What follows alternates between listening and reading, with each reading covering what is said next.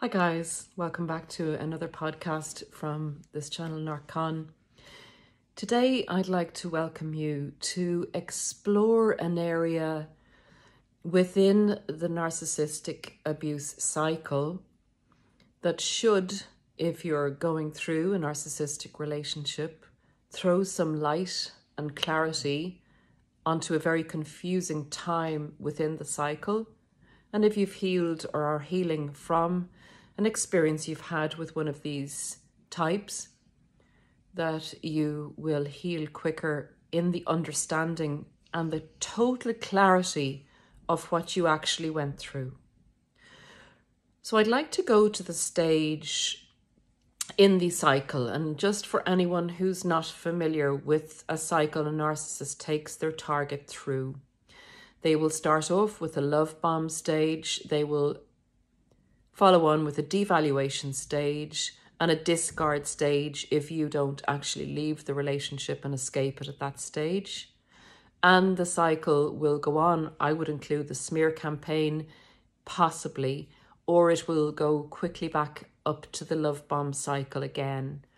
And people go through these cycles many, many times. Some people can go up to seven, to nine, to 11 cycles with a narcissist before they finally break away and understand what's going on and leave. Of course, getting this education helps people leave quicker and regain time in their lives where they can actually live instead of wasting it with a narcissist. So, guys, the time I'd like to take us to is the time in the devaluation stage when this is the time the narcissist basically capitalizes on the love bomb stage.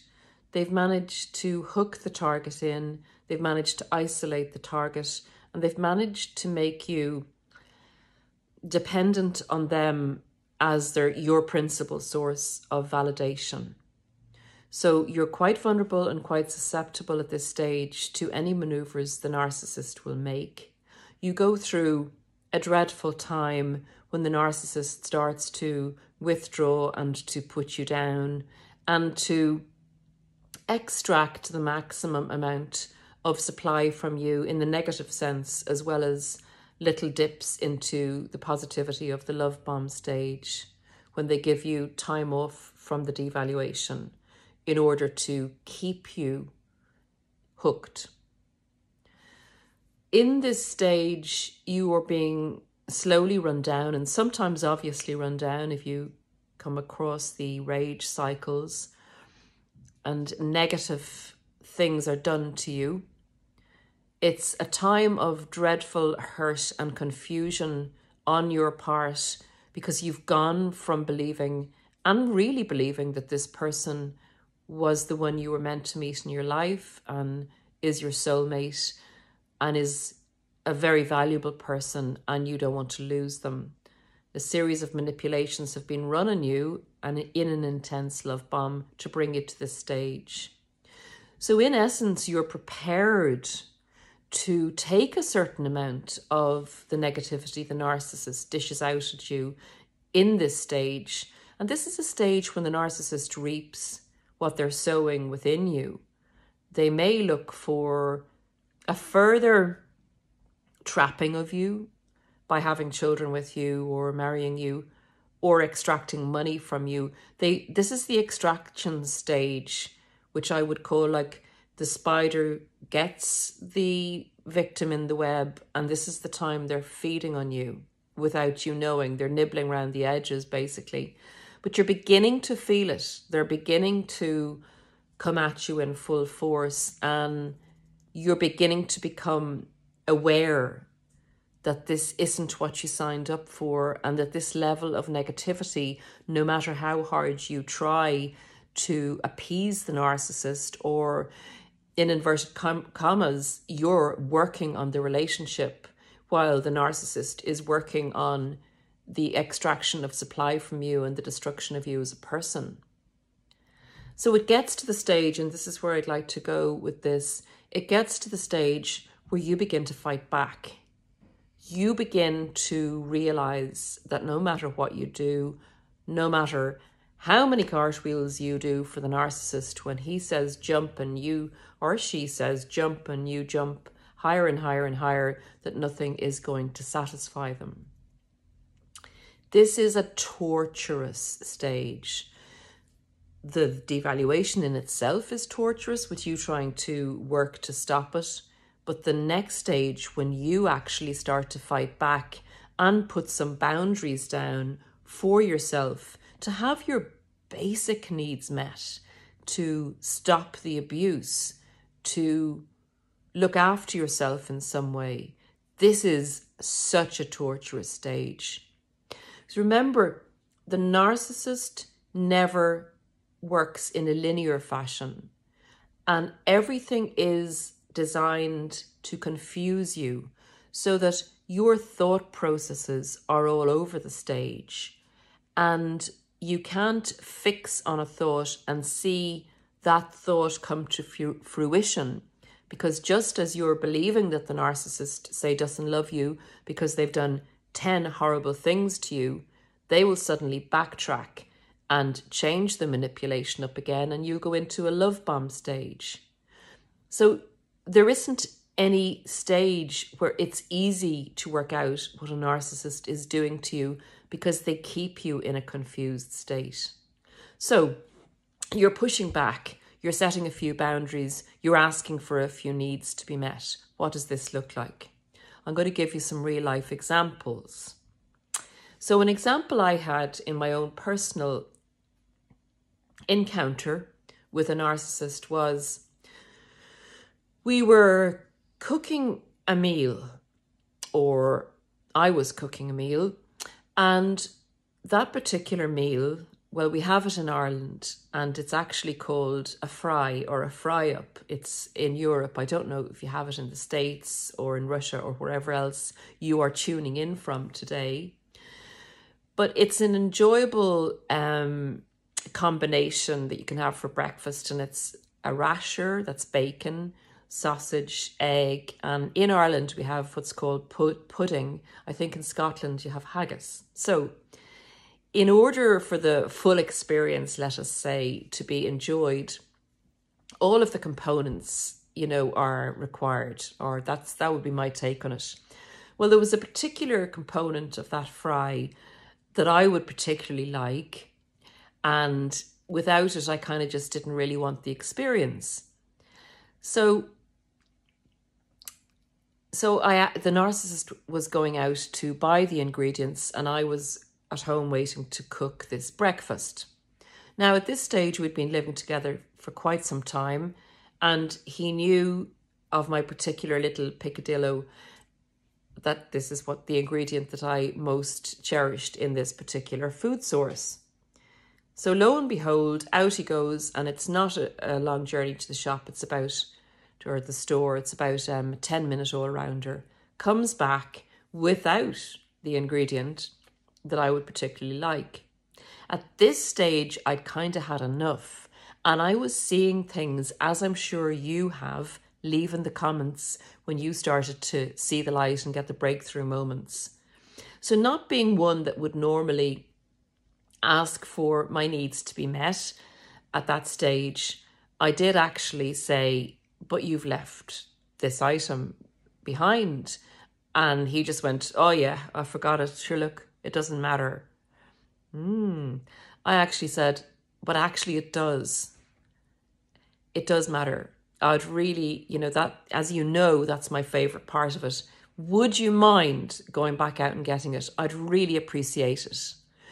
Now, here is a thing that someone that loves you wouldn't, first of all, forget it. Something that you particularly liked. And if they did forget it, they'd say, Darling, no problem, I'll go out and get that for you. I'm so sorry, I forgot it. They wouldn't go with a childlike attitude and say, It doesn't matter anyway, forget it anyway, and then be very grumpy going back out to get it for you. What happened then was that person didn't come back from a short journey for a full hour. This is when, and you're waiting, you know, for a meal, you're hungry and you want to cook it and get on with the day. This is when you pull back and ask for a need to be met, the narcissist will throw it right back at you as you being demanding, controlling, grumpy, not a nice person to live with, and will also hit back by annoying you for you asking you to have your needs met. It's a tiny, petty example, but the tiny, petty example says everything about the rest of what's happening in the relationship. So they'll stay out longer to annoy and frustrate you. And they'll also use that time to get you back, to get you back. They'll use that time to possibly go after the new supply, make a phone call, or do whatever else they wanted to do in a kind of a childlike reaction or a childish reaction, vindictive reaction to you, daring to ask them to fulfill a little need of yours. And that's the time they begin to see everything that you want and everything that you do as being wrong. And that's the time they'll probably ring their friend and say, Oh, look what he's asking for now, or look what she's asking for now. This person is impossible to live with. Notwithstanding that it's their lack of love for you, their lack of care, and their lack of willingness to help you or to see that you get your needs met, that it's actually them that's causing the problem. Narcissists will turn it immediately on you. The next thing I noticed at that stage when I was pushing back and becoming a little bit stronger was things would go missing in the house. Things like bank cards and keys and phones. And now I know I'm notorious for losing my phone and my keys, but this was happening on a much more frequent basis. And particularly just before a holiday, the bank card went missing, my bank card, and I knew I'd left it somewhere or within a certain area. So, without labouring these points, guys, these are small examples of a narcissist taking secret revenge against you, confusing you, making you feel discombobulated. Anytime you ask for your needs to be met, they have a I hope this is the right pronunciation, a smugsgeboard, is that it? Like a board where you get all, um, I think, beginnings of a meal or aperitifs or little pieces of cheese and pate and whatever. They have a smorgasbord of manipulations that they used on you in the love bomb stage to get you hooked, like triangulation, isolation, um, gaslighting, all these things that they did on you to bring you into the web, to get you hooked. They use them in a kind of a positive way initially in the love bomb stage, so that they were expressing their love for you and they might have triangulated you with someone else and said, But you're so much better. I love you so much more. In the stage where you're putting boundaries in, when you've gone through a really bad devaluation, they will pick the manipulations that worked best on you in the love bomb stage.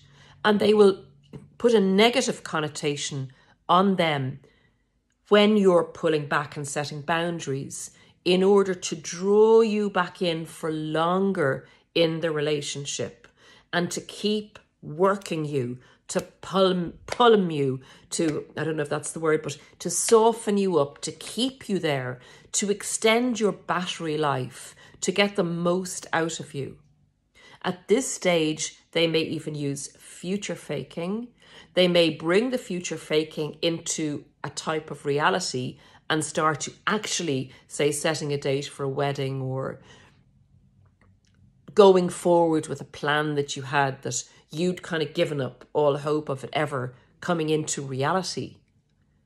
They'll use this series of manipulations in a negative way and say use the triangulation at this stage to make you actually really feel bad to work for them more by upping another person, by really praising them and not coming back to you with the validation that actually you're much better than this other person, but actually looking at you as you have a lot to do to improve, don't you?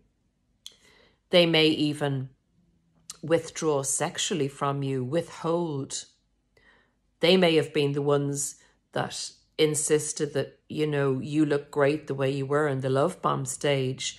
And then suddenly in the deval stage, when you're putting your boundaries up, they'll start to say things like, I'm not that attracted to you anymore. Or you could do it losing a bit of weight there, boy. Um, or, you know, you've been through it, guys. Again, leave in the comments what you got when you started to push, put your boundaries up, when you realized that you were actually not being loved, but you were being the opposite of loved. You were actually being taken for a ride and being abused and not being looked after in the deval stage. Another thing they might do is if you go out in company, whereas in the love bomb stage, they would have maybe been paying you a lot of attention. And then with a normal partner, you know, you check in every now and again on your partner if you're in a, a social setting. I'm not saying you're you're in their pocket, but you're acknowledging them, you know, you're saying hi or you're introducing them to someone, or if they're off for a few hours, you check in on them at some stage in the evening. With a narcissist, you don't exist in this social setting and they're focusing their attention fully on the most attractive competition for you in the room or just ignoring you fully or even leaving the social setting without you. So, guys, these are the type of things that narcissists do when you start pushing back in the relationship, when you start putting your boundaries in, they become competitive. They become competitive with you and they make the smorgasbord of manipulations that were used in an attractive way to reel you in initially, to beat you down, and to entice you to more output in the devaluation stage. You'll be introduced to the future faking, the triangulation. You'll be introduced to them giving you a mini love bomb um, to keep you keep you believing that the person that you saw at the beginning of the relationship is actually still there, is actually still attainable, and is actually real. If you're going through this, let us know. Give other examples to other people so they may it may resonate with them. And again, guys, these behaviors are not enough to clarify that you were with a narcissist. It's the pattern of behaviors on a continual basis that will help you recognize that you are possibly narcissistically abused. And when you can put those pieces in place, you have a much better chance of healing well without the confusion about yourself and that person and what went on with you in the relationship. And that is a light bulb moment that is so amazing when people get it. And that's why I'd say if you leave your example in the comments, it may set a light bulb off for somebody else to understand what they've gone through and to heal well, well and quickly. Excuse me. Guys, until next time, please look after yourself first. Feed yourself well, eat nutritious food, take exercise, learn about narcissism, learn about yourself, and revalidate yourself as the good person, as the wonderful person you are. Don't concentrate on all the negative things that the narcissist brought up in you. Sure, accept some of them, but really concentrate on the positive parts of you. See you soon, guys. Bye for now.